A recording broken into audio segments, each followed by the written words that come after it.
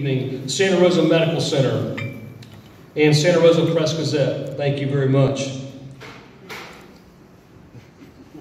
Our platinum sponsors this evening, the City of Milton, Fast Cash ATM, Gulf Power Company, Lifeguard Ambulance Service, Macomb Electric Company Incorporated, Natural Gas of Milton, Okaloosa Gas District, TCB ICE LLC.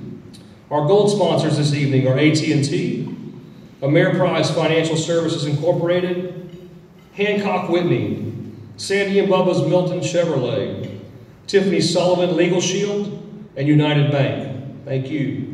And our silver sponsors, DLOS Incorporated, The First, a National Banking Association, and the Tool Shack. Thank you very much, ladies and gentlemen. Let's give them all a big round of applause tonight.